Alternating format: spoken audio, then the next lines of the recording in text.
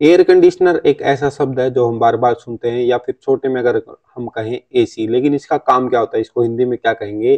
तो अगर किसी कमरे में एयर कंडीशनर लगा हुआ है, वहाँ पर उसमें एयर कंडीशनर में आप टेम्परेचर डाल देते हो चौबीस का, उस कमरे के बाहर का टेम्परेचर है चालीस का तो एसी का काम क्या हुआ? उस कमरे का टेम्परेचर चौबीस पर लेके आना। अब मान लो बाहर जो है टेम्परेचर बहुत कम है, यानी कि दस डिग्री, अब वहाँ पर भी आप चौबीस पर देते हो तो एयर कंडीशनर ऐसे भी आते हैं जो ठंडी में गर्म हवा भी करते हैं तो उनका काम क्या होगा? एसी का अपना जो भी टेम्परेचर है रूम का जो आप सेट करते हैं, वो लाना।